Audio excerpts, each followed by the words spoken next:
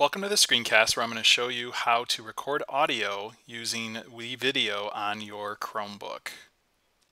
So you're going to go to wevideo.com and anytime you sign in you should log in with Google using this login with Google button to sign in with your school credentials. Once you are signed in you'll go into a project so you want to create a project for this interview and you'll be working in the project here and you can see I'm looking at the my media folder right now where all these audio clips are stored. So you can be clicked on my media and there's this little microphone button right here. You can click on this microphone button and it will ask you to allow the microphone make sure you always click allow that gives permission to the computer to record at the bottom of the screen, you'll see this little red microphone that appears. This is what you can click on to actually start your recording. So at this point, it's a good idea to think about positioning your Chromebook. Your, your microphone on your Chromebook is located up by the camera, the two little holes up there. One of those is the microphone.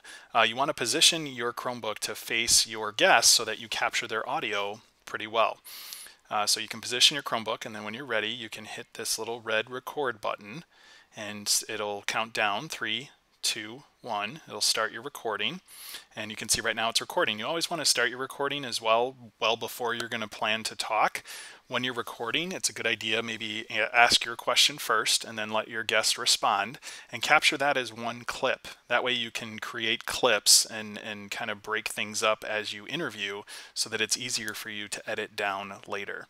So you can see right now I'm at about 23, 24 seconds. When you're done asking that first question and they respond, you can hit stop. This is what it looks like when you hit stop.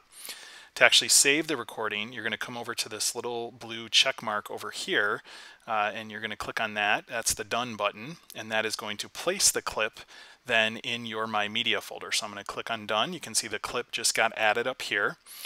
And the clip may also get added to a track down in your project. So you can drag these clips onto audio tracks, but if I scroll down here, I'll see that this clip that I just recorded was also added as this voiceover one track.